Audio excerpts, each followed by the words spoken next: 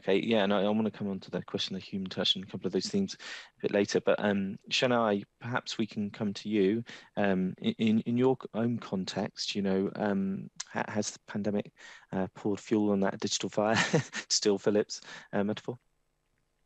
Um, well, we are slightly different. Uh, first, we were very young, and uh, we were a born digital company. So for us, uh, the pandemic has been uh, sort of God sent because it's helped us adopt and helped customers and partners adopt. We've always been digital, we've been cloud native. So, uh, like we uh, loved saying last year, is that while everyone triggered BCP, we continued in our BAU mode. So, that's why we continued to grow very fast. We were amongst the fastest, second fastest growing last year, and we continue to be.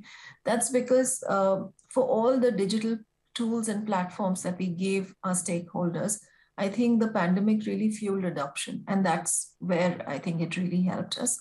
And um, what Philip was saying is absolutely right. While pandemic has fueled adoption, even for a digital player like us, we have to give meaningful value and tangible and meaningful value to every stakeholder who's interacting with us for him or her to continue to uh, interact on a digital platform.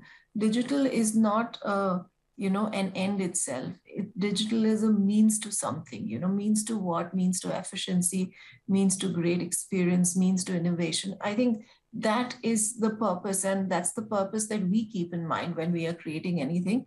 Digital is a platform and digital is not the be all and end all for us. For instance um, the way we look at digital at edelweiss general insurance is as a business model rather than a distribution mode. So for us, it's not about, you know, acquiring customers directly, but it's about creating a digital platform that enables the entire ecosystem that uh, P&C and health insurance is associated with and our stakeholders, our partners are associated, make it completely efficient, far more productive for all concerned, and the experience should be great. That's how we look at it.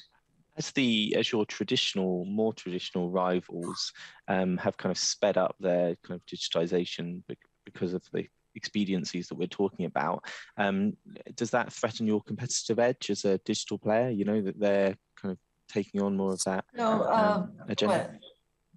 Well, uh, I think um, digital has um, pandemic has definitely accelerated the digital transformation. And that's because I feel that on the dimension of urgency, it gained the urgency dimension was dialed up because everyone knew it was important. I don't think you would have had a single leader saying digital is not important before the pandemic. But the urgency of the entire situation drove digital acceleration.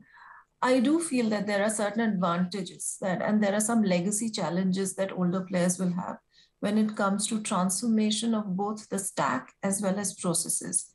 And that's where uh, I feel that newer players with a different stack are more nimble footed and more agile and um, that that you know speaks to the operational resilience conversation that we had a while earlier but we can touch on that uh, uh, later. But i think generally in terms of agility and nimble footedness uh, i think newer players will have an advantage. While the old, older players have accelerated but it is still a cumbersome process for them